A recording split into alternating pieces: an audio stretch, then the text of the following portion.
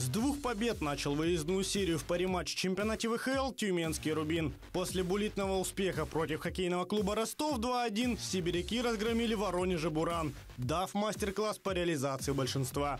Хозяева открыли счет на шестой минуте, после чего Егор Назаров запер ворота на замок, а «Буран» перестал успевать за скоростями гостей. Уже на десятой минуте в формате 5 на 3 Денис Давыдов сравнял счет. Во втором периоде хозяева еще дважды нарушили правила, за что Рубин их мгновенно наказал. Георгий Бердяков и Александр Осипов показали, что не просто так держатся в топ-5 самых результативных защитников лиги. В промежутке между их голами отличился Никита Мокин. Итоговый счет тюменцы установили на 53-й минуте. И снова в большинстве. Стараниями Вадима Хлопотова.